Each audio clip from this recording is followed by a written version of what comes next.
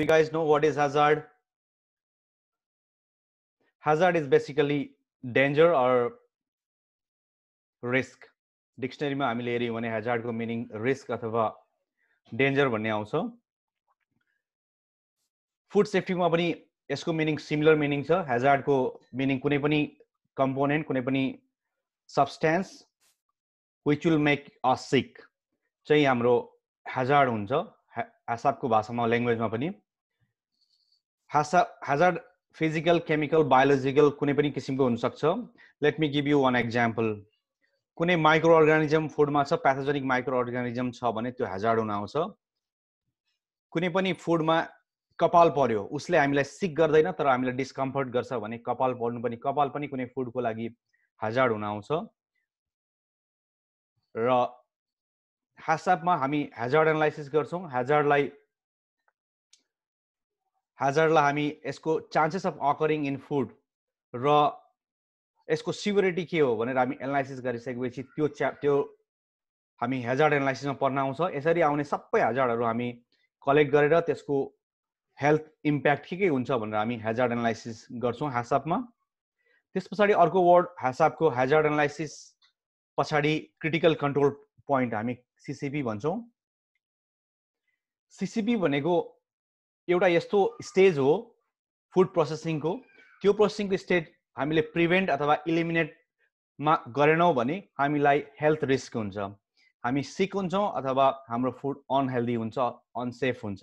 त्यो त्यो स्टेपलाई चाहिँ हामी सिसिपी भन्छौँ जुन which which must be must be control or eliminate in that in that step म यसको बारेमा यदि कुनै जिज्ञासा छ भने फेरि पनि आउँछु। सिसिपी बुझ्नको लागि अलिकति एडभान्स नलेज पनि चाहिन्छ र एडभान्स प्र्याक्टिस पनि चाहिन्छ। यो अलिकति टफ पनि छ। म फेरि पनि यसलाई बुझाउने प्रयास गर्दैछु। फुड प्रोसेसिङको कुनै पनि एउटा यस्तो स्टेज जुन स्टेजमा हामीले हजारलाई कन्ट्रोल गर्नै पर्छ।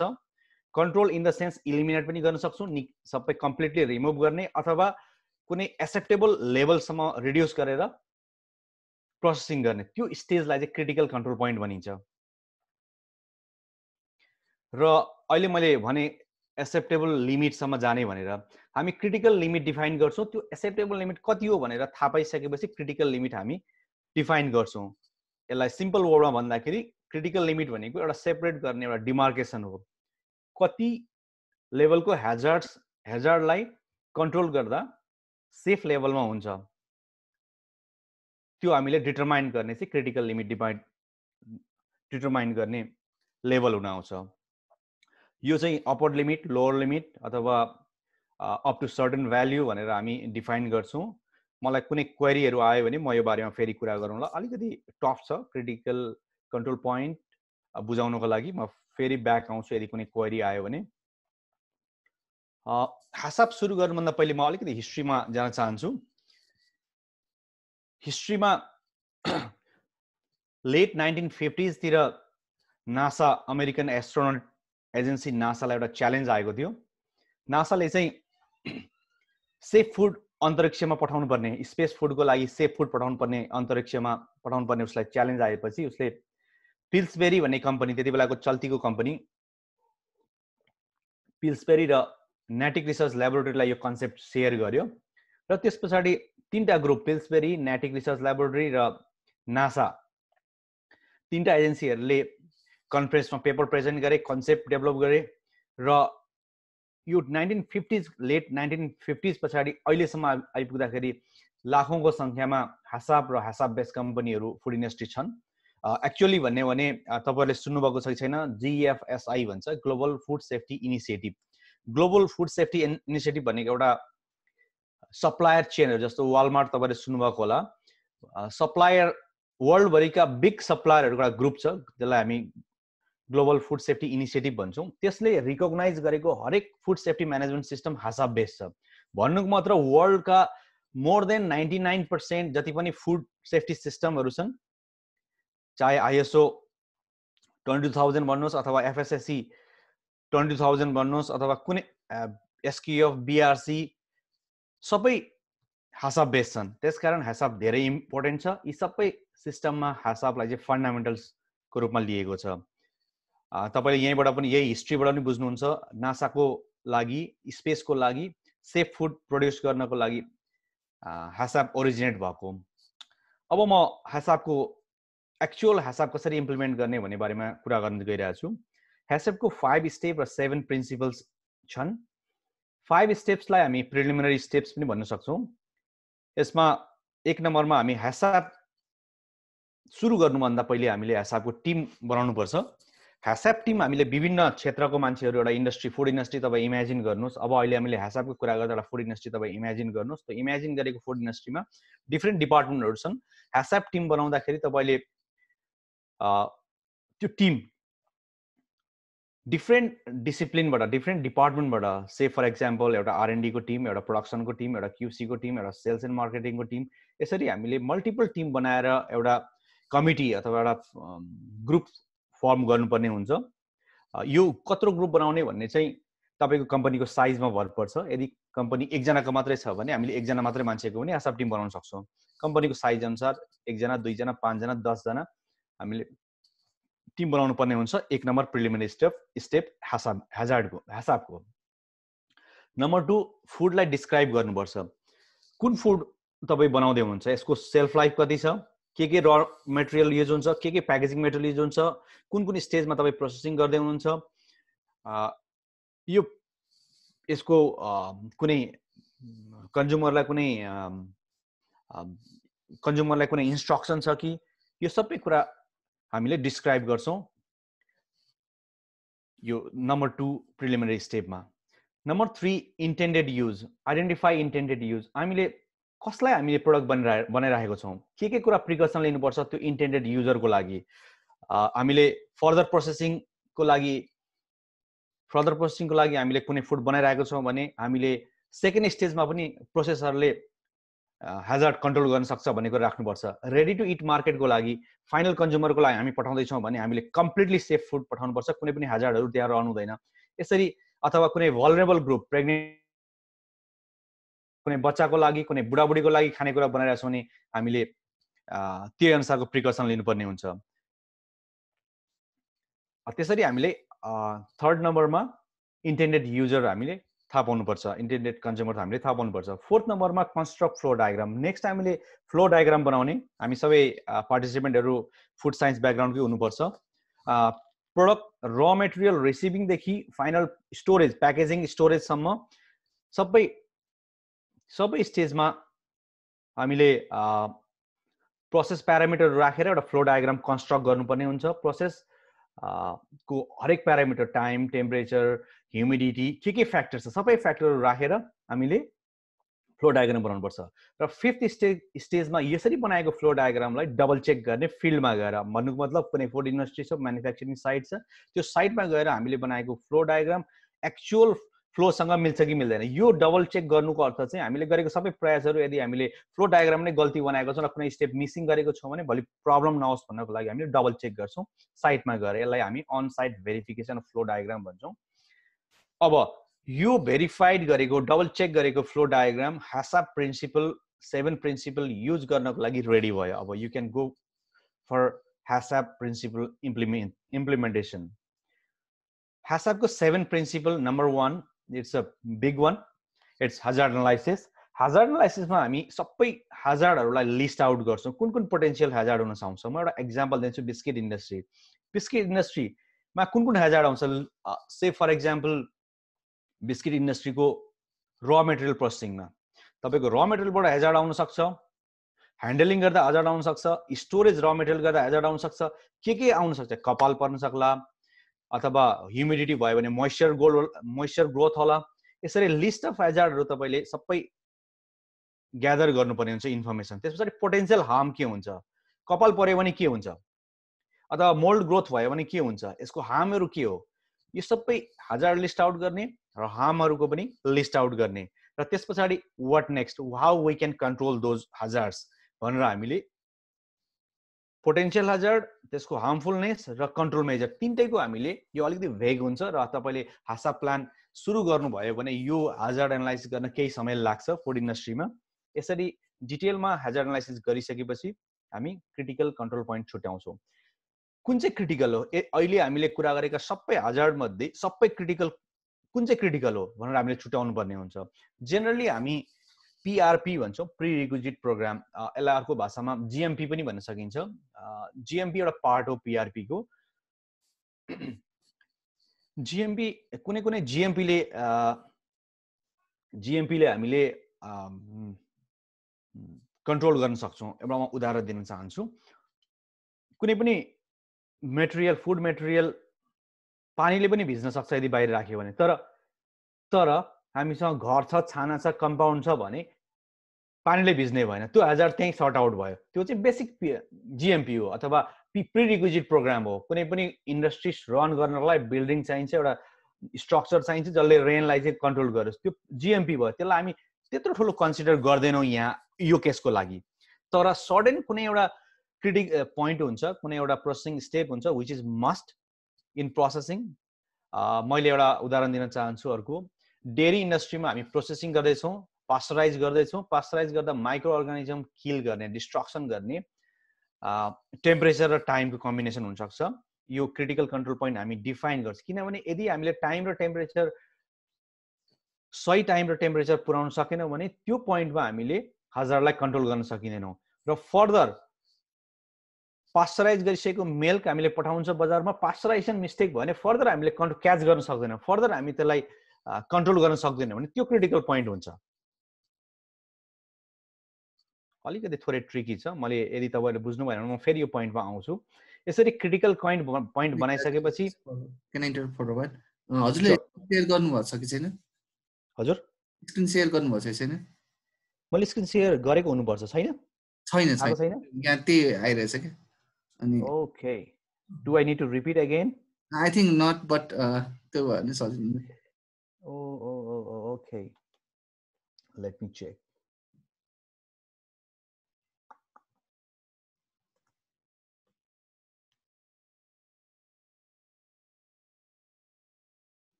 Hmm.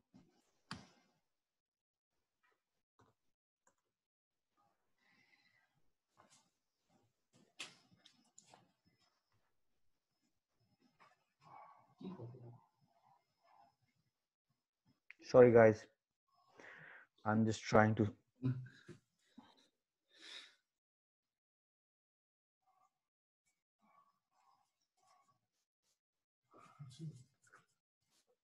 One Oh, one second. Uh, share your screen.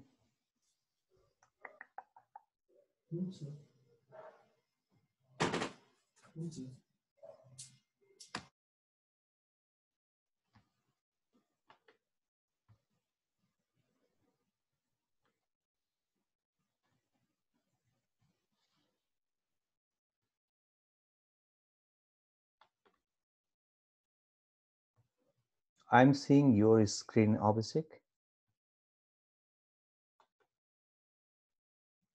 अभिषेक मैले तिम्रो स्क्रिन देखिरहेको छु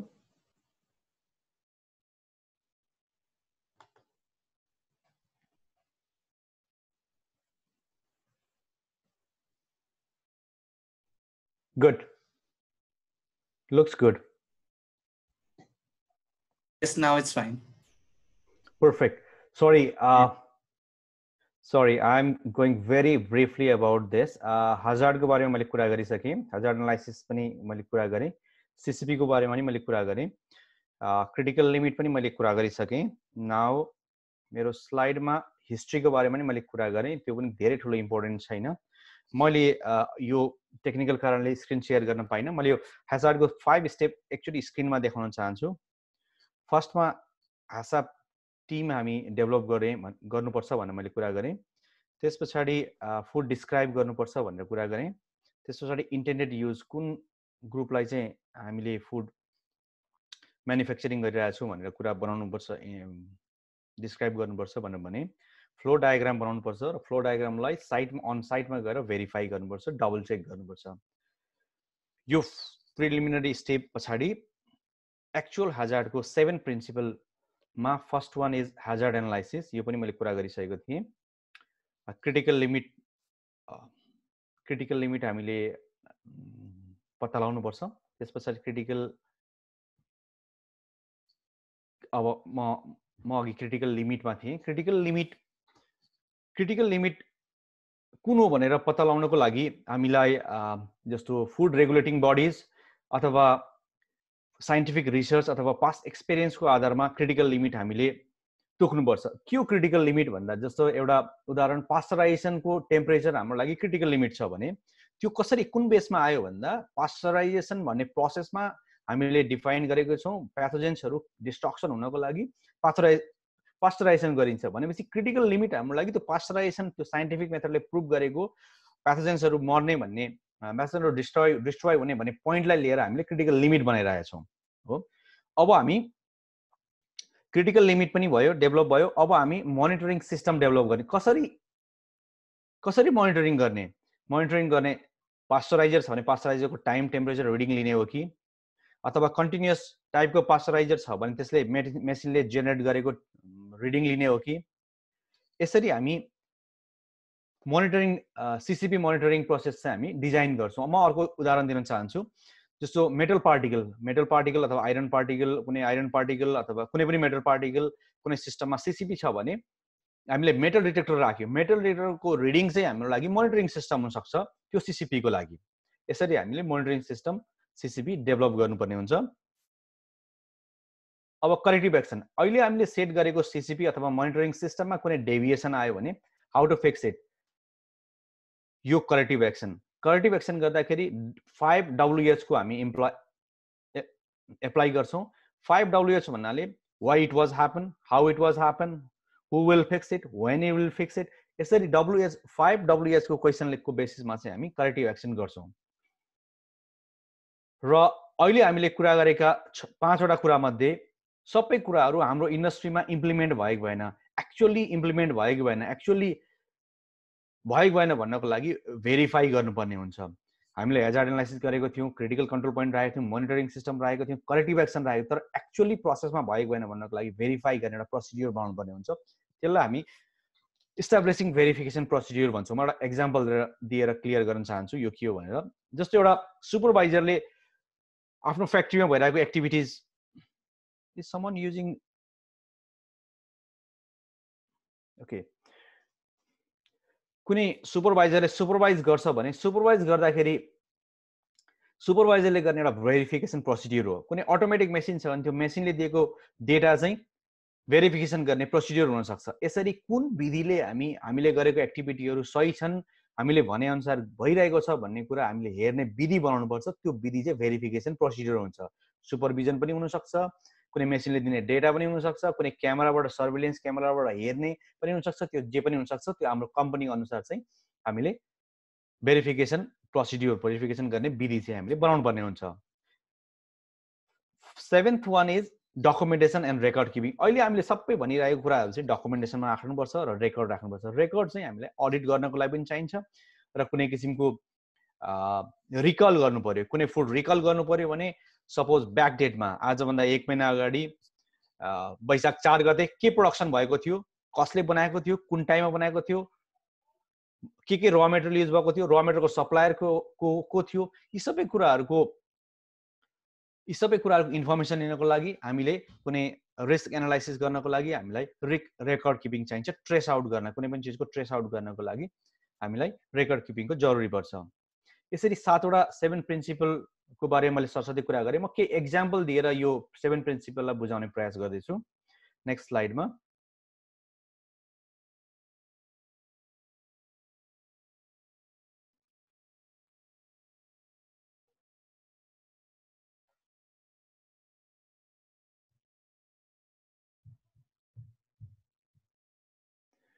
okay let's say hazard analysis hazard एनालाइसिसमा हामीले एउटा मैले डेरीको एक्जाम्पल दिएको छु मिल्क कलेक्सन सेक्सनमा मिल्क कलेक्सन सेक्सनमा कस्तो किसिमको फिजिकल केमिकल र बायोलोजिकल हजार्ड हुनसक्छ? एउटा सिम्पल एक्जाम्पल अघि पनि मैले भनेको थिएँ। मिल्क कलेक्सन सेक्सनमा फिजिकल हेजार्डमा कपाल पर्नु दुधमा कपाल पर्नु एउटा हेजार्ड हुनसक्छ। कपाल जुनै पनि स्रोतबाट आउनसक्छ तर दुधमा कपाल पर्नु एउटा फिजिकल हेजार्ड हुनसक्छ। त्यस्तै अर्को एक्जाम्पल माटो पर्नु अथवा काउडङ पर्नु दुधमा। त्यो एउटा फिजिकल हेजार्ड हुनसक्छ। त्यस्तै केमिकल हेजार्ड केमिकल हेजार्ड के हुनसक्छ? मिल्कमा भिडिआर भेटनरी ड्रग रेजिड्यू आउनसक्छ दुधमा। केमिकलहरू भेटनरी ड्रग रेजिड्यू आउनसक्छ। त्यस्तै गरी बायोलोजिकल हेजार्डमा कुनै प्याथोजेनिक ब्याक्टेरियाहरू आउनसक्छ मिल्क कलेक्सनको स्टेजमा यसरी विभिन्न किसिमका फिजिकल केमिकल र बायोलोजिकल हेजार्डहरू मिल्क कलेक्सन स्टेजमा आउनसक्छ। त्यस्तै अर्को इक्जाम्पल मैले बेकिङको दिनेछु बेकिङमा बेकिङमा हुनसक्ने हेजार्ड फिजिकल केमिकल बायोलोजिकलमा के हुनसक्छ? मेटल पिसहरू हुनसक्छ। फ्लावरबाट आउनसक्छ केमिकल हजार्ड पेस्टिसाइडहरू आउनसक्छ एगेन र मेटेरियलबाट आउनसक्छ प्याथोजेनिक ब्याक्टेरिया एन्ड मोड आउन सक्छ बायोलोजिकल हजार्डको रूपमा यी चाहिँ एक्जाम्पल भयो। म यही एक्जाम्पललाई लिएर कसरी कन्ट्रोल मेजर गर्ने भनेर नेक्स्ट स्लाइडमा देखाउँदैछु। कन्ट्रोल मेजर कन्ट्रोल मेजर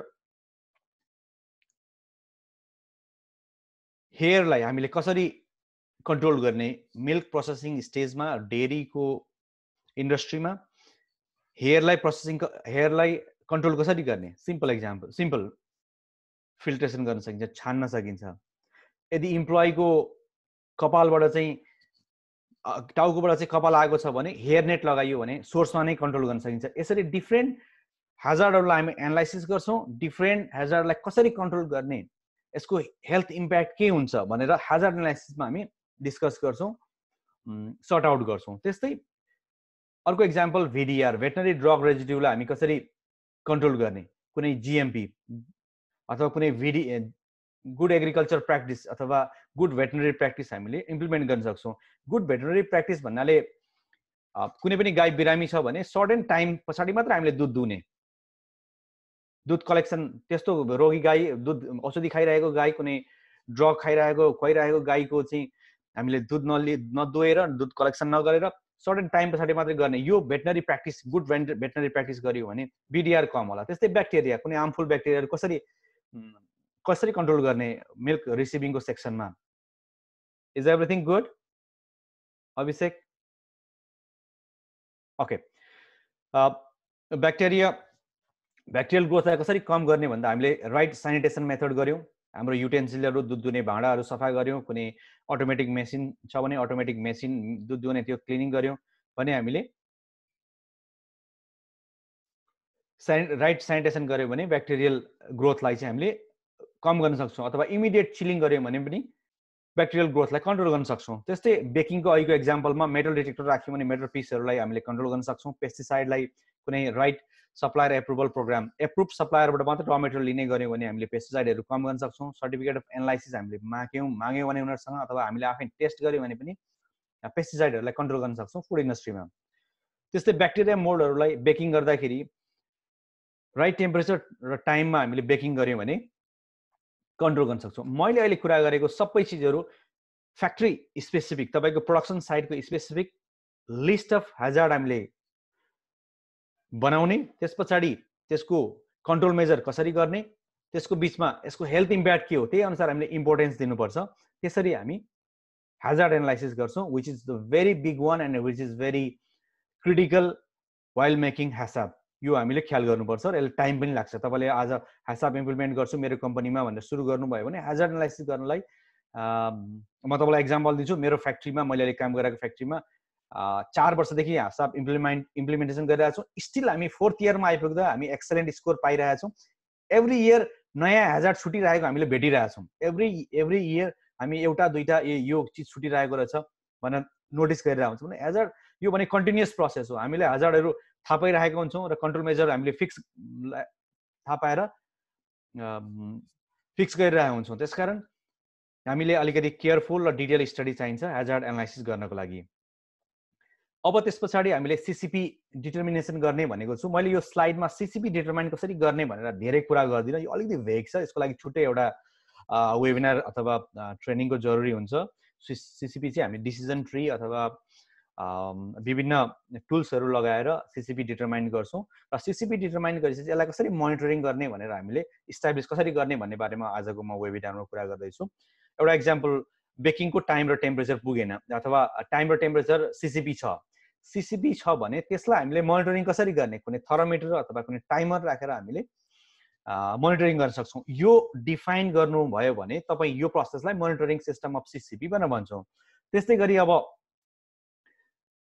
अर्को इक्जाम्पल हुनसक्छ। मेटल डिटेक्टरले मेटल डिटेक्टर तपाईँको सिसिपी छ भने अब मोनिटरिङ सिस्टम के हुनसक्छ? भन्दा मेटल डिटेक्टरले दिएको रिडिङ तपाईँको लागि मोनिटरिङ सिस्टम हुनसक्छ। अथवा सेतो चामल तपाईँले प्रोसेसिङ गर्दै हुन्छ ब्राउन कुनै अथवा राइस प्रोसेसिङ गर्दाखेरि राइसको कनिका अथवा कनिका नभनौँ चा धान धान चाहिँ कसरी छुट्याउने भन्दाखेरि मान्छे तपाईँले लगाउनु भएको छ स्क्रिनिङ गरेर मान्छेलाई छुट्याउ भनेर लगाउनु भएको सानो इन्डस्ट्री छ मेकानाइज छैन सबै म्यानुअली काम गर्दै हुनुहुन्छ भने। यसको मोनिटरिङ सिस्टम के हुनसक्छ भने सबै मान्छेहरूले त्यो नाङ्लोमा राखेको चामललाई एकजना सुपरभाइजरले सर हेर्ने कुनै छ यो एउटा कुनै धान रहेको छ छुटेको छ भनेर हेर्ने चाहिँ मोनिटरिङ सिस्टम चाहिँ सुपरभाइजरले सुपरभाइज गर्ने स्टेप हुनसक्छ। त्यसकारण यो कम्पनीको साइज अनुसार कम्पनीको क्यापासिटी अनुसार प्रोसेसिङ स्टेज अनुसार विभिन्न किसिमले हामीले मोनिटरिङ सिस्टम बनाउन सक्छौँ। सिसिपीको मैले दिएको एउटा दुइटा इक्जाम्पलहरू हुन्। त्यस पछाडि करेक्टिभ एक्सन अहिले हामीले इस्टाब्लिस गऱ्यौँ तर करेक्टिभ एक्सन तर डेभिएसन भयो। हामीले भनेको भन्दा तलमाथि भयो भने हामी कसरी फिक्स गर्ने कसरी करेक्सन गर्ने? एगेन बेकिङ इन्डस्ट्रीमा लो टेम्परेचर भयो पास्चराइजेसनमा टेम्परेचर पुगेन के हुनसक्छ कारण? ओभन अथवा ओभन चाहिँ ले हिट राम्रोसँग नदिइरहेको हुनसक्छ ओभन बिग्रेको हुनसक्छ ओभनलाई हामीले मेन्टेनेन्स गर्नुपर्ने हुनसक्छ। अथवा कुनै ट्रेनिङ चाहिँ नयाँ कुनै अपरेटर नयाँ छ उसलाई ज्ञान छैन कसरी चलाउने भनेर उसलाई ट्रेनिङ दिनुपर्ने हुनसक्छ। मेटल डिटेक्टर छ मेटल डिटेक्टरले डिटेक्ट गरेन कुनै मेटल पार्टिकललाई के कारण हुनसक्छ? पोर मेन्टेनेन्स हुनसक्छ एन अथवा हामीले डिफाइन गरेको क्रिटिकल लिमिट चाहिँ लिमिटले काम गरिरहेको छैन कि अथवा क्यालिब्रेसन भएको छैन कि के रिजनले गर्दाखेरि यसमा प्रब्लम आइरहेछ डेभिएसन आइरहेछ त्यो फिक्स गर्ने काम चाहिँ करेक्टिभ एक्सनमा हामी गर्छौँ। कहिलेकाहीँ करेक्सन र करेक्टिभ एक्सन हामी झुकिने गर्छौँ। करेक्सनलाई हामी कहिलेकाहीँ करेक्टिभ एक्सनको रूपमा बुझ्छौँ जुन चाहिँ गलत हो। करेक्सन भनेको कुनै पनि प्रब्लम आउँछ त्यसलाई फेरि गर्नु चाहिँ करेक्सन मात्रै हो। तर करेक्टिभ एक्सन चाहिँ यसको रुट कजमा पुगेर एक्चुअल के कारणले गर्दाखेरि हाम्रो डेभिएसन आएको छ त्यो पत्ता लगाएर हामीले फेरि गर्नुलाई चाहिँ करेक्टिभ एक्सन भन्छौँ। एउटा इक्जाम्पल दिन्छु। म सबैलाई यही इक्जाम्पल दिने गर्छु। कुनै जाँचमा फेल भयो भने फेरि जाँच दिनु चाहिँ करेक्सन हो। तर के कारणले फेल भएको? यदि राम्रोसँग तयारी नगरेर फेल भएको हो भने तयारी गरेर जाँच दिनु चाहिँ त्यो करेक्टिभ एक्सन हो कुनै ठाउँ कुनै तपाईँ फ्याक्ट्रीमा घुम्दै हुनुहुन्छ एज अ म्यानेजर तपाईँले कुनै क्लिनिङको साइट देख्नु भएन क्लिनिङ नभएको देख्नुभयो के कारणले क्लिनिङ नभएको तपाईँ फेरि क्लिनिङ गर भनेर भन्नु चाहिँ करेक्सन मात्रै हो भने के कारणले गर्दा क्लिनिङ नभएको इम्प्लोइलाई एजुकेसन पुगेको छैन कि डिटर्जेन्ट राम्रो छैन कि अथवा उसले एप्लाई गरेको क्लिनिङ गर्ने मेथड खराब छ यो पत्ता लगाएर तपाईँले फिक्स गर्ने अनि फेरि क्लिनिङ गर्न लगाउनु चाहिँ करेक्टिभ एक्सन हो। हामी फुड इन्डस्ट्रीमा करेक्टिभ एक्सनको मात्रै कुरा गर्छौँ करेक्सनको होइन। करेक्सन भनेको सर्ट टर्मको लागि फिक्स हुन्छ भने करेक्टिभ एक्सनले तपाईँलाई त्यो प्रब्लम फेरि दोहोरिँदैन। र फुड इन्डस्ट्रीमा हासाबमा जहिले पनि हामी करेक्टिभ एक्सनको कुरा गर्छौँ करेक्सनको होइन। र जहिले पनि as a manager as a implementing authority हामीले करेक्टिभ एक्सनमा जानुपर्छ करेक्सनमा होइन। करेक्सनले एकदमै सर्ट टर्म मात्रै रिजल्ट दिन्छ।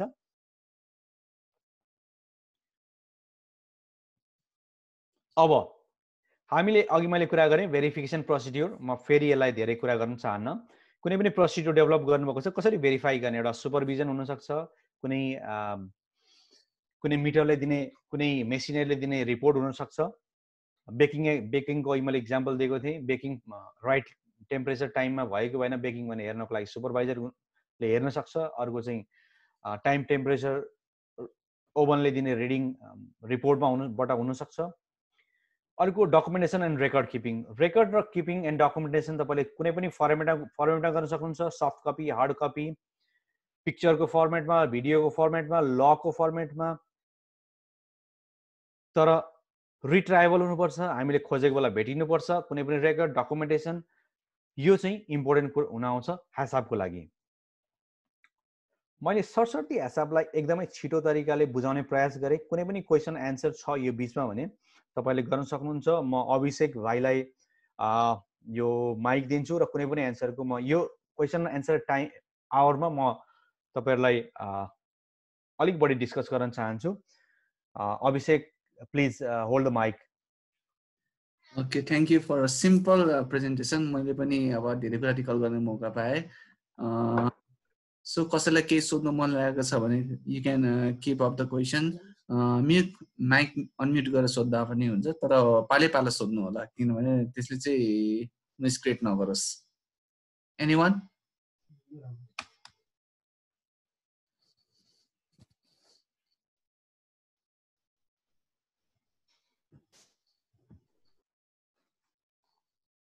there is one query from Harir, uh, Raksha Paudel, Harir दाई। करेक्ट करेक्टिभ एक्सन फेरि एकपटक भनिदिनुहोस् भनेर भन्नु एउटा क्वेसन आएको छ okay do you want me to answer right now I think let's take three questions and we can Okay, I may need to write actually. I, let me explain. Uh, let me explain this question, and then we can we can talk later. Okay. okay. Uh, are you will give example of very back on. So, uh, are you seeing my screen actually? No. No. Okay. Uh, stop sharing. No, you need to back back. Uh, there, yeah, okay. I'm screen. Yeah. Okay. Okay. Good. good. I'm going. To, I'm going to the slide again. Okay. मैले दिएको example फेरि भन्छु correction भनेको immediately solve गर्ने मैले भने एउटा simple example लेमेनको भाषामा भन्दाखेरि एक्जाममा फेल हुनु र फेरि एक्जाम दिनु करेक्सन मात्रै हो जति पढेको छ त्यति नै फेरि एक्जाम दिँदा त अब फेल हुन सक्ने भयो पास पनि हुन सक्ने भयो तर यदि तयारी पुगेको छैन यदि हामीले राम्रोसँग नपढिकन फेरि एक्जाम पढेर नपढेको कारणले फेल भएको थियो भन्ने कुरा आइडेन्टिफाई गरियो र पढेर एक्जाम दिनु चाहिँ करेक्सन करेक्टिभ एक्सन हो। त्यस्तै गरी हामी फुड इन्डस्ट्रीको एक्जाम्पल दिउँ पास्चराइजरको टेम्पर टेम्परेचर पुगेन से फर इक्जाम्पल भने होइन टेम्परेचर डायलमा टेम्परेचर इन्क्रिज गरेर पास्चराइजर चलाउनु करेक्सन मात्रै हो। तपाईँले त्यसो गर्नुभयो भने भोलि पनि तपाईँको टेम्परेचर पुग्दैन भोलि पनि त्यो प्रब्लम आउँछ। तर के कारणले पास्चराइजरको टेम्पर टेम्परेचर पुगेन? नम्बर वान पास्चराइजरमा हिटिङ सिस्टममा क्लगिङ भएको छ कि? डिस्केलिङ गरेर त्यसको टेम्परेचर हिट एक्सचेन्ज राम्रोसँग भइरहेको छैन। डिस्केलिङ गरेर चाहिँ पास्चराइजरको राइट टेम्परेचर पुऱ्याउने हो कि? अथवा क्यालिब्रेटेड टेम्परेचर मेजरिङ डिभाइस चाहिँ तपाईँको क्यालिब्रेसन भएको छैन कि? अथवा इम्प्रोपर ट्रेनिङले कुनै पनि सुपरभाइजर अथवा अपरेटरले चाहिँ प्रपरली चलाउन जानेको छैन कि? भनेर यसको रुटकज पत्ता लगाउने र त्यसलाई फिक्स गर्ने र रन गर्नु त्यो चाहिँ करेक्टिभ एक्सन हुन्छ। Is it clear now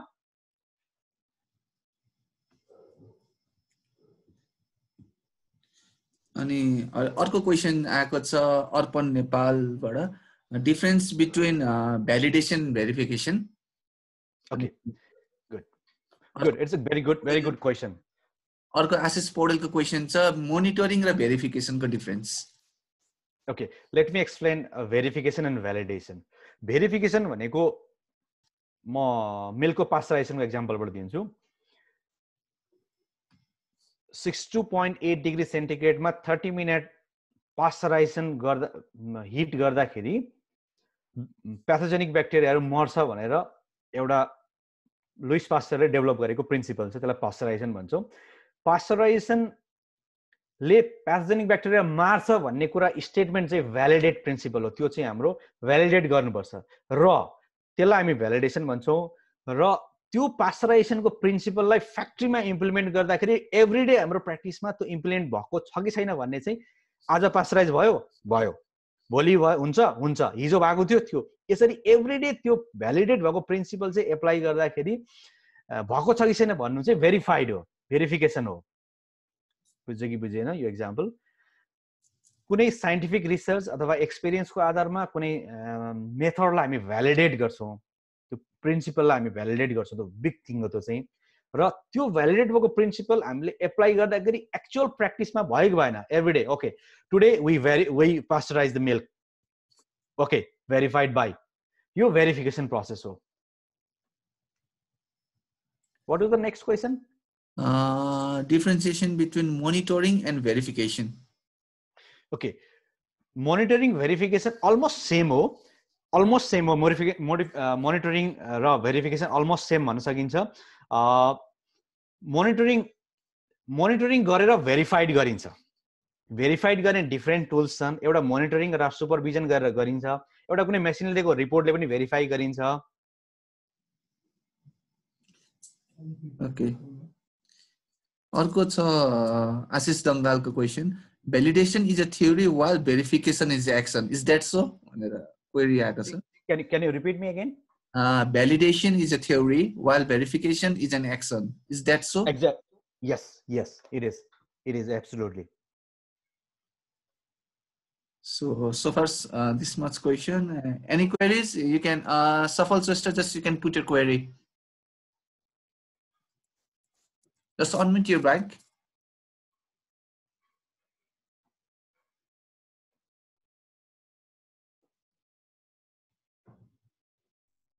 Safal, are you there?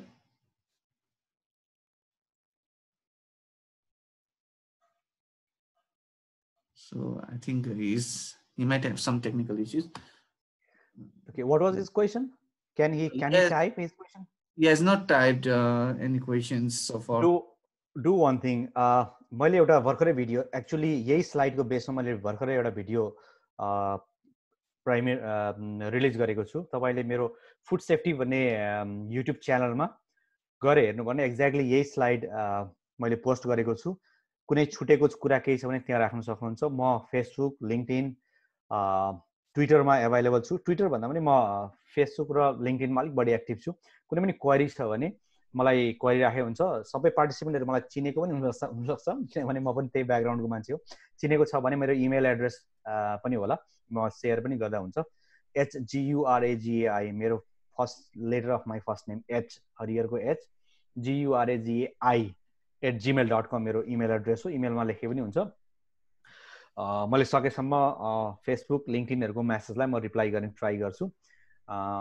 र तपाईँले मेरो भिडियोहरू हेर्नुभयो भने मेरो नेक्स्ट भिडियोमा मैले डिटेलमा CCP plan decision tree use गरेर सिसिपी आइडेन्टिफाई गर्ने भिडियो म बनाउँदैछु। त्यो भिडियोमा बेटर अन्डरस्ट्यान्डिङ हुनसक्छ। फुड इन्डस्ट्री फुड सेफ्टीको काम गरिराख्ने साथीहरूको लागि यो भेरी बेसिक हो। जस्ट नलेजको लागि स्टुडेन्टको लागि हो। यदि फ्याक्ट्रीमा काम गर्दै गर्नुहुन्छ अथवा भोलि गएर काम गर्नुहुन्छ होला भने मेरो सेकेन्ड स्टेजको म भिडियो पनि बनाउँदैछु। तपाईँले त्यहाँ हेर्नु सक्नुहुन्छ र कुनै क्वेरी छ भने अभिषेकजी मार्फत अथवा मलाई डाइरेक्टली पनि गरे हुन्छ।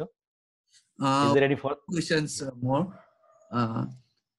एउटा चाहिँ Ashish पौडेलजीबाट what do you say about number of CCPs in plant it can be zero it can be any numbers okay किनभने HACCP plan also can be HACCP plan zero CCP भएर पनि ह्यासा प्लान हुनसक्छ it depends on your size it depends on your system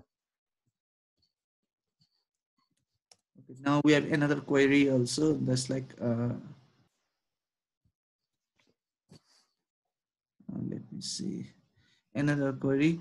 Can you share more stories about the procedure in your company भनेर आएको छ मुक्ताजीजीले okay भनेको के मेरो कम्पनीले के गर्छ भन्ने कि uh, यो हासा सिस्टम कस्तो छ भन्ने? It's more related HACCP critical control points and all okay केही कुरा त मैले डिस्क्लोज गर्न नमिल्ला म जेनरल कुरा मात्रै मेरो कम्पनीले गर्ने भन्छु होइन? Uh, अब मेरो कम्पनीमा एसक्युएफ भन्ने सिस्टम सर्टिफाइड हो। हामी लास्ट थ्री इयरदेखि एक्सलेन्ट स्कोर पाइरहेको छौँ। म फर्चुनेटली म त्यसको मैले नै लिड गरिरहेको छु त्यो प्रोजेक्टलाई एसक्युएफ भनेको सेफ क्वालिटी फुड यो अघि मैले तपाईँले ख्याल गर्नुभयो भने मैले जिएफएसआई तपाईँले नोट गरिराख्नु भयो हुन्छ। गुगल गर्नुभयो भने थाहा हुन्छ जिएफएसआई भनेको ग्लोबल फुड सेफ्टी इनिसिएटिभ जिएफएसआईले चाहिँ मान्यता दिएका केही फुड सेफ्टी स्ट्यान्डर्डहरू छन्। त्यसमध्ये एउटा एसक्युएफ हो अर्को बिआरसी हो एफएसएससी ट्वेन्टी टू थाउजन्ड हो। ISO twenty thousand twenty two thousand जुन नेपालमा छ त्यसलाई चाहिँ मान्यता दिएको छैन है फेरि। अब मेरो कम्पनीमा एसक्युएफ सर्टिफाइड छ। हामीसँग मेरो कम्पनीले स्प्राउटिङ गर्छ। स्प्राउटिङ भनेको टुसा बनाउने। जुन हामी क्वान्टी बनाउँदाखेरि सिडहरूलाई बिन्सहरूलाई चाहिँ टुसा बनाउँछौँ। टुसा बनाउने काम गर्छ र ड्राई गर्छौँ पाउडर गर्छौँ र एज अ इन र इन्ग्रेडियन्ट र केही रेडी टु इट मार्केटमा हामी पठाउँछौँ। हाम्रो सिम्पल प्रोसेस त्यो हो सिड बिन्सहरूलाई सर्टेन टाइम टेम्परेचरमा हामी राख्छौँ पानी राख पानी हाल्छौँ ट्रेहरूमा अनि त्यस पछाडि हामी जर्मिनेसन गर्छौँ र जर् सर्टेन स्टेज भइसकेपछि अ टाइप अफ माल्टिङ भन्दा पनि हुन्छ। माल्टिङ भन्दा अलिकति अलिकति फरक छ। माल्टिङ गरेर यस्तो गरेर हामी स्प्राउटिङ गर्छौँ ड्राई गर्छौँ। सिम्पल प्रोसेस छ एकदमै नेचुरल प्रोसेस छ। अर्ग्यानिक प्रोसेस हो हामी अर्ग्यानिक सर्टिफाइड पनि हो. र हाम्रो सिसिपी हामीले के के डिटर्माइन गरेको छ भने हाम्रो रेडी टु इट मार्केट र फर्दर प्रोसेस हुने हाम्रो चिप्स म्यानुफ्याक्चरहरूले ब्रेड बेकरी बेकरीहरूले पनि हाम्रो मेटेरियल लाने गर्छन्। र उनीहरूको लागि बनाउने एउटा छुट्टै सिसिपी हजार हासाप छ। र रेडी टु इट मार्केट मान्छेहरूले त्यो पाउडर पनि खान्छन्। हामीले बनाएको स्प्राउडेड इन्ग्रिडियन्टहरूको पाउडर त्यो रेडी टु इटको लागि फर छुट्टै छ। र पहिलोलाई फर्दर प्रोसेसिङको लागि मेटाडेटर मात्रै छ हाम्रो सिसिबी भने रेडी टु इट मार्केटको लागि माइक्रो अर्गानिजम किल गर्ने एउटा हाम्रो मलाई अब भनौँ न केही फरक नपर्ला एउटा पेरासिटिक एसिडको सोल्युसनले ट्रिटमेन्ट गर्छौँ हामी। पेरासिटिक एसिड तपाईँहरूलाई थाहा छैन पेरासिटिक एसिडले ट्रिट गर्दाखेरि फुड मेटेरियल स्टिल हामी अर्ग्यानिकै हुन्छ।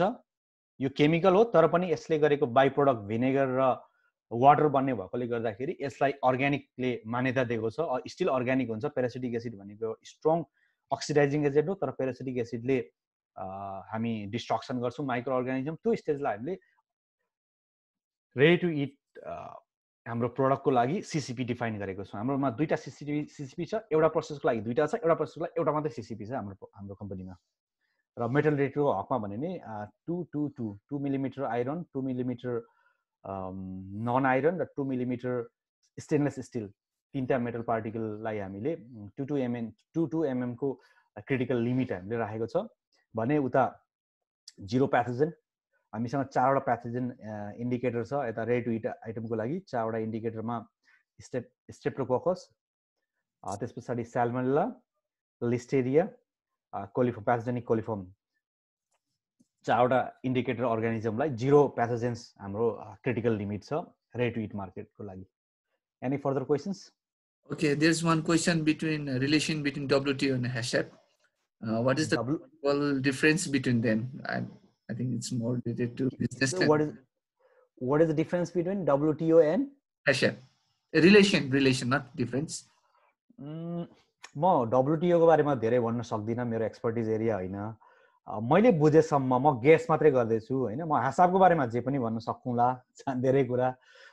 डब्लुटिओ एउटा एग्रिमेन्ट हो। त्यो एग्रिमेन्टको लागि सर्टेन सेफ्टी स्ट्यान्डर्डहरू चाहिन्छन् चाहिनुपर्छ। सेफ फाइटोसेनिटरी किनभने हामी पनि एक्सपोर्ट गर्छौँ यहाँबाट हाम्रो र मेटेरियल हामीले जहिले पनि एक्सपोर्ट गर्दाखेरि यहाँबाट नर्थ अमेरिकामा चाहिँ एउटा क्यानाडाबाट अमेरिका जानलाई पर्दैन। एउटा ट्रिटी छ अमेरिका क्या नर्थ अमेरिकाभरि त्यो बाहेक अरू देशमा जाँदाखेरि हामी जहिले पनि एसपिएस भन्छ फाइटोसेनिटरी र सेनिटरी दुईवटा सर्टिफिकेट हामीले इस्यु गर्नुपर्ने हुन्छ। यहाँबाट हामीले चाइना पठाउँदा युरोप पठाउँदा कुनै पनि देश पठाउँदाखेरि चाहे क्यानाडाबाट। र त्यो डब्लुएचओको रिक्वायरमेन्ट हो। र सबभन्दा राम्रो चाहिँ हामी एसकिएफ सर्टिफाई हौँ भनेपछि धेरै क्वेसनहरू त्यसको एन्सरमा आउँछ। र लिङ्क चाहिँ छ। मलाई अब डब्लुडिओको अरू रिक्वायरमेन्ट मलाई थाहा छैन तर food safe food material export गर्दाखेरि उनीहरूले ह्यासाप सर्टिफाइड छ अथवा ह्यासाप बेसको सिस्टम सर्टिफाइड छ भनिसकेपछि दुईवटा तिनवटा मात्रै क्वेसन हामीलाई सोध्छन् त्यो फाइटोसेन्टरी सर्टिफिकेट लिने बेलामा। छ रिलेसन चाहिँ हुनुपर्छ केही। दाजु मेरो नै एउटा आफ्नै क्वेरी छ जस्तै यो फोर्स रिकल गर्ने जुन गरिन्छ नि कम्पनीहरूले नर्मल के गर्ने? फोर्स रिकल भन्छ नि। फोर्स रिकल हजुर हजुर। नर्मली कति ड्युरेसनसम्म आउनु आइसक्ने तपाईँहरूको एक्सपिरियन्स भन्छ फोर्स रिकल चाहिँ? फर्चुनेटली मेरो कम्पनीमा अहिलेसम्म रिकल भएको छैन है। त्यो चाहिँ फर्चुनेट र भाग्यमानी भन्नुपर्छ। रिकल धेरै हुन्छन्। यहाँ युएस युएसएफडिएको दिनको एउटा इमेल नोटिफिकेसन मैले सेट गरेको छु। मेरो नोटिफिकेसनमा एफडिएले गर्ने रिकल दिनको चारवटा पाँचवटा कम्तीमा आउँछ। होइन? होइन? यु युएसले गर्ने क्यानाडाको पनि दिनको दुईवटा जति एउटा दुईवटा एउटा दुईवटा रिकल भइरहेको हुन्छ। र फोर्स रिकल त्यो एक्चुली गभर्मेन्टले गर्ने फोर्स रिकल हो र भोलिन्टरीली गर्ने चाहिँ कम्पनीले आफै डिक्लेयर गरेर मलाई शङ्का लाग्यो मेरो मेटेरियलमा कुनै हजार लाग पऱ्यो म रिकल गर्छु ब्याच नम्बर दिएर गर्न पनि सकिन्छ। फोर्स रिकल चाहिँ कुनै चाहिँ इन्भेस्ट इन्भेस्टिगेसन गर्यो पत्ता लाग्यो भने त्यो चाहिँ गभर्मेन्टले गराउने फोर्स रिकल तिमी यो यो ब्याचको चिज निकाल भनेर। एसक्युएफले के भन्छ भने चौबिस घन्टाभित्रमा मैले कुनै पनि चिज पत्ता लगाएँ मेरो कम्पनीमा डिफेक्ट हुनसक्छ। एउटा प्लास्टिकको मेटेरियल चाहिँ एउटा डटपेन गोजे गोजिङ बोयको मान्छेले थियो डटपेन चाहिँ मिलमा पिसियो र मिलमा पिसिएर त्यो डिस्ट्रिब्युट भयो। प्लास्टिकको पिसेसहरू मैले पठाएको फुड मेटेरियलमा हुनसक्छ भन्ने कुरा आइडेन्टिफाई गरेको कुनै कम्पनीले भने उसले थाहा पाएको इमिडिएटली ट्वेन्टी फोर आवरमा बडीलाई भन्नुपर्छ। त्यो एसक्युएफको क्लजमा छ। तर इन प्र्याक्टिसमा इमिडिएटली हामी भन्छौँ। यदि मैले मेरो म्यानुफ्याक्चरिङ डिफेक्ट भयो मजा बजार मार्केटमा स्याम्पल गइसकेको छ भने मैले इमिडिएट कुनै पनि प्रोसेस गर्नु भन्दाखेरि नम्बर वान उसलाई सोध्ने हो या उसले जे भन्छ मैले त्यो गर्नुपर्ने हुन्छ। यो यो प्र्याक्टिस हो। Okay, thank you for that. Ani Shraddha, I don't know her surname. Uh, she's raising it. If you have any query, just uh, unmute your mic and uh, ask the question.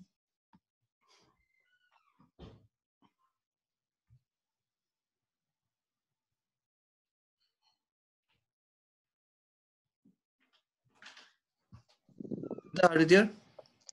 Okay um, sir नमस्ते नमस्ते अँ, sir मलाई चाहिँ यो PRP अनि ओपिआरपीको कुरा धेरै आउँछ नि सर ह्यासएपमा अनि त्यसको बारेमा चाहिँ अझै फर्दर सरले अलिकति एक्सप्लेन गरिदिनुहुन्छ कि भनेर। गुड मैले यो मैले यो सरी मेरो बच्चाहरू छन् घरमा अलिक डिस्टर्ब भइरहेको छ केही छैन? के अरे मैले स्लाइडमा जानी जानी मैले ओपिआरपी र पिआरपी नराखेको हो। त्यो राखेँ भने अझ यो गाह्रो होला भनेर। बहिनी के फुड इन्डस्ट्रीमा काम गर्दै हुनुहुन्छ? होइन सर म भर्खरै एमटेक मास्टर्स ग्रेजुएट हो। ओके केही छैन। मैले कुन लेभलको एन्सर एक्जाम्पलबाट दिउँ भन्न खोजेको थिएँ। ठिक छ? केही छैन। ओपिआरपी मैले अघि भने जस्तो फ्याक्ट्री सुरु गऱ्यौँ हामीले। से फर इक्जाम्पल तपाईँ अब जेरोबाट बिस्किट फ्याक्ट्री खोल्दै हुनुहुन्छ। अब के के हजार हुनसक्छ? तपाईँले फ्लो चार्टहरू बनाउनु भयो। अब त्यहाँ अघि मैले दिएको थिएँ पानीले भिज्न सक्छ। घर बन्नु पऱ्यो नि पहिले त होइन? बिल्डिङ बन्नु पऱ्यो बिल्डिङ चाहिँ ओपिआर सरी पिआरपी भयो। प्रि रिक्विजिट प्रोग्राम फ्याक्ट्री खोल्नलाई बेसिक तपाईँले बिल्डिङ बनाउनु भयो झिँगा सिजन भनेर ढोका बनाउनु भयो जाली हाल्नु भयो होइन? यस्ता बेसिक फन्डामेन्टल कुराहरू बाढी आउँछ भनेर खोलाको नजिक बनाउनु भएन। हजार त हजार हो नि बाढी आउनु सक्छ होइन? अब यी सबै बेसिक फन्डामेन्टल हामी कुराहरू गर्छौँ त्यसलाई हामी पिआरपी भन्छौँ प्रि रिक्विजिट प्रोग्राम भन्छौँ। मैले एकदम सिम्पल भाषामा बुझाउनु खोज्दैछु। ओपिआरपी भनेको ल अर्को त्योभन्दा राम्रो इक्जाम्पल म दिन्छु। तपाईँ सरसफाइ गर्नको लागि तपाईँले ब्रस किन्नुभयो सेनिटाइजर किन्नुभयो मान्छेलाई ट्रेनिङ दिनुभयो त्यो पिआरपी भयो। अब डेली अब त्यसमा सेनिटाइजरको स्ट्रेन्थ तपाईँले हेर्नुपर्ने हुन्छ डेली युज गर्दाखेरि। डेली सेनिटाइजरको स्ट्रेन्थ हेर्नु चाहिँ ओपिआरपी हो। अपरेसन गर्दाखेरि त्यो पिआरपीले काम गरिरहेको छैन भनेर चेक गरेर चाहिँ ओपिआरपी हो। एभ्री अपरेसन एभ्री तपाईँले क्लिनिङ गर्दाखेरि तपाईँले त्यो जस्तो सोडियम हाइपोक्लोराइड युज गर्दै हुनुहुन्छ एज अ सेनिटाइजर भने सोडियम हाइपोक्लोराइडको स्ट्रेन्थ चाहिँ एभ्री डे ठिक छ कि छैन भनेर चेक गरेर चाहिँ ओपिआरपी हो। मैले बुझाउन सकेँ कि सकिनँ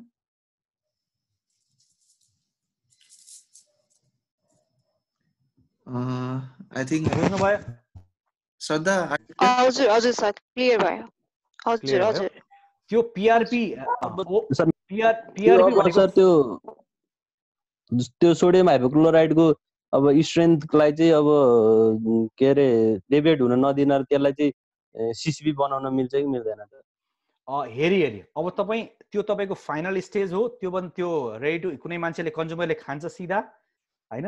मैले त अहिले भुइँ सफा गर्ने भन्ने एक्जाम्पल दिएको थिएँ। तर कुनै फुड मेटेरियललाई तपाईँले सेनिटाइजर गर्नु परेको छ भने एक त एक नम्बर कुरा त त्यो क्लोरिन राखेर सेनिटाइज गरेर मान्छेलाई पठाउनु मिल्दैन। क्लोरिन कम्प्लिटली तपाईँले क्लिन गर्नुपर्ने हुन्छ रिमुभ गर्नुपर्ने हुन्छ। तर त्यो तपाईँको क्रिटिकल स्टेज हो। त्यसले चाहिँ ब्याक्टेरिया मारेर तपाईँको मार्केटमा रिलिज हुँदैछ भने त्यो पनि सिसिपी हुनसक्छ। ओके आजको लास्ट क्वेसन हामी लिन्छौँ। Difference between HACCP and TACCP I think I have never heard this दाजुलाई थाहा होला। के के? Difference between HACCP and TACCP मलाई टिएससी एपी थाहा भएन मलाई। सरी ओके म ट्राई गर्छु। म यो अर्को सर भिएसिसिपी पनि हुन्छ नि सर। के चिज? भिएसिसिपी पनि हुन्छ नि। मलाई यो पनि थाहा भएन। ओके ठिक छ। You can just inbox me the question म एउटा लिस्ट बनाएर हरियर दाले इमेल गरिदिउँला नि। I hope you give the proper answer time लाग्छ होला। ठिक छ। मलाई मेरो एउटा रिक्वेस्ट तपाईँलाई यो मेटेरियल युजफुल लागेको लागेन। मैले अरू प्रयोजनको लागि पनि मैले क्वेसन सोधेको होइन। तपाईँले यो ठिकै लाग्यो अथवा कुनै करेक्सन गर्नुपर्ने भन्ने कुनै छ भने प्लिज मलाई मेसेज गरिदिनु होला। एक्चुली रिफ्रेस हुनको लागि मैले यही जे बोलेँ लगभग त्यही नै कुराहरू राखेर भिडियो बनाएको जस्तो। भिडियो पनि हेर्नुभयो भने क्लियर हुन्छ। र प्लिज मलाई फिडब्याक दिनु होला। म केही अरू पनि मेरो दिमागमा राखिरहेको छु। भोलि अभिषेकजीसँग मिलेर अर्को पनि कुनै वेबिनार गर्न सक्छौँ। यदि यो युजफुल भयो भने। युजफुल भएन भने त फर्दर किन कुरा गर्ने होइन? केही युजफुल भयो भने म सेकेन्ड स्टेजको पनि वेबिनार गर्ने विचारमा छु। सोचेको छु मैले अब अभिषेकजीसँग मेरो सल्लाह त भएको छैन। Okay you can just give me the feedback अहिले हाम्रो पार्टिसिपेन्ट जुममा सेभेन्टी टू र फेसबुकमा नाइन्टी थ्रीजनाले चाहिँ यो प्रत्यक्ष रूपमा हेरिराख्नु भएको छ यो वेबिनार्सहरू I hope it's informative to all केही छ सरलाई रेकमेन्डेसन या uh, केही राम्रो छ? अझ कस्तो खाले वेबिनार हेर्न चाहनुहुन्छ भने? We can host the webinar in the near future also sure sure I have म अहिले एक्चुली यो लकडाउनले गर्दाखेरि मसँग केही फ्री टाइम भएको थियो र मैले के गर्ने गर्ने भन्दाखेरि नयाँ कुरा केही गरौँ भनेर यो भिडियो बनाउन थालेँ युट्युबको भिडियो। बनाउँदै गर्दाखेरि मलाई केही आइडियाहरू आएको छ म अफलाइनमा म सेयर गरौँला छ मसँग हेसापको एक्चुअल इम्प्लिमेन्ट गर्नलाई अलिकति च्यालेन्जिङ छ। सिम्पल भाषामा हेसाप बुझाएर अलिकति इन्क्रिजिङ गर्ने यसको लेभल अफ अन्डरस्ट्यान्डिङ बढाउँदै जाने गएर म भिडियो सेयर गर्न मलाई मन लागेको छ। तिनै कुराहरू फेस टु फेस यसरी कन्फरेन्समा पनि वेबिनारमा पनि हामी कुरा गर्न सक्छौँ। ओके एउटा लास्ट एउटा फेरि क्वेसन आएछ सर। ठिक छ। पिआरपी र ओपिआरपीसँग ल्याब एक्रिडेसनको के कुरा छ? पिआरपी र lab एक्रिडेसनसँग PRP OPRP and lab accreditations कुनै फर्चुनेटली म मैले लिड एडिटर कोर्स गरेको छु यो ल्याब एक्रिडेसनको पनि। जेनरली यहाँ चाहिँ के प्र्याक्टिस छ भने नि जस्तो मेरो कम्पनीमा पनि हामी ल्याब राख्दैनौँ आफै। किन ल्याब एक्रिडेटेड ल्याब पनि राख्दैन एक त खर्चिलो हुन्छ। जस्तो हाम्रो मेरो सबै स्याम्पलहरू हामी अर्को एक्रिडेटेड ल्याबोरेटरीमा पठाउँछौँ स्याम्पलहरू म मात्रै होइन यहाँको धेरै कम्पनीहरूले आफूले ल्याब राख्दैन एउटा ट्रस्ट वर्दी हुँदैन आफूले आफ्नो टेस्ट गरेको। हामी प्लेटफर्म टेस्ट गर्छौँ क्विक गर्ने टेस्टहरू गर्छौँ ऱ्यापिड टेस्टहरू तर प्रिजम्टिभ हामी कन्फर्मेटिभ टेस्टहरू जहिले पनि हामी थर्ड ल्याबमा दिन्छौँ। त्यो भनेको यो प्रायः सबै यहाँको नर्थ अमेरिकाको मलाई लाग्छ सबै वर्ल्डकै भनौँ न ठुलो डेभलप कन्ट्रीहरूमा उनीहरूले चाहिँ पेप्सिकोला कोला यी सबैहरूले थर्ड पार्टी ल्याबमा पठाउँछन्। र एक्रिडेटेड ल्याबलाई नै दिन्छन्। थर्ड पार्टीलाई टेस्टिङ गर्न दिन्छन् उनीहरूले आफ्नो प्रडक्टहरू खालि ऱ्यापिड टेस्टहरू मात्रै हाम्रो इन्डस्ट्रीमा गर्छौँ। मिट इन्डस्ट्रीमा पनि त्यस्तै छ डेरी इन्डस्ट्रीमा पनि त्यस्तै छ सबै इन्डस्ट्रीमा त्यो छ। सम्बन्ध छ तर त्यो त एक्रिडेड ल्याब एउटा इन्डिपेन्डेन्टली छुट्टै चल्छ। आफ्नै इन्डिपेन्डेन्ट ल्याब भएको मलाई एक्चुअल थाहा छैन। भनेपछि एकदमै रेयर छन् होला सायद छन् भने पनि। एन्सर आयो कि आएन? मैले दिन खोजेको कुरा बुझेँ कि बुझेन। र ओपिआर ओके क्वेसन थियो ओपिआरपी र पिआरपी होइन? ओपिआरपी त अर्कै कुरा भयो। टेस्टिङ भनेको त्यो भेरिफाई गर्ने भयो टेस्टिङ भनेको ओपिआरपी भनेको हाम्रो कन्ट्रोल मेजर पिआरपी ओपिआरपी भनेको हामीले कन्ट्रोल गर्ने कुरा भयो। कन्ट्रोल गरिसकेको कुरा ठिक चाहिँ छैन भने भेरिफाई गर्ने चाहिँ टेस्टिङ हो। त्यो ल्याबोरेटरी एक्रिडेटेड ल्याबोरेटरीसँग गर्ने। अलिकति फरक कुरा हुन् दुइटाको इन्टरसेक्सन छैन भन्नु पऱ्यो तर हामी त्यसको डेटाको बेसिसमा हामी फेरि ओपिआरपी पिआरपी रिभ्यू गर्न सक्छौँ। यदि रिजल्ट पोजिटिभ नेगेटिभ के आउँछ त्यसको आधारमा।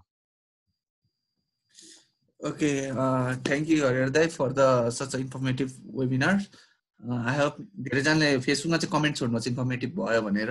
And thank you I hope we can host more series of webinar in the coming days अब लकडाउन पनि छ सबैजनाको अहिले फ्री टाइम नै छौँ हामी सबैजना छ यसो इभिनिङ इभिनिङ हामी होस्ट गर्छ होला। अलिकति अरू पनि होस्ट गर्ने हामी प्रयासरत छौँ। यति भन्दै म अब साइन अप गर्नु पर्ला दाइले के भन्नु छ goodbye thank you YouTube channel last साँच्ची। लास्ट वर्ड चाहिँ होइन युट्युबको म कुरा गरिदिएर thank you very much and thank you very much for participation and thank you very much for Abhishek Abhishek र अभिषेकको संस्था वाइडिआरपी मैले राइटली भने? YPARD young professionals for agriculture development okay म त्यो संस्थाले गरेको प्रयास एकदमै म वाच गरिरहेको छु एकदमै राम्रो छ। वेबिनार सिरिज अफ वेबिनार चलिरहेको छ। एकदमै राम्रो छ। फुड टेक्नोलोजी स्टुडेन्टहरूलाई स्ट्रिमलाइन गरेको देखेको छु। म I I very appreciate Abhishek and team and thank you very much keep going okay bye stay safe guys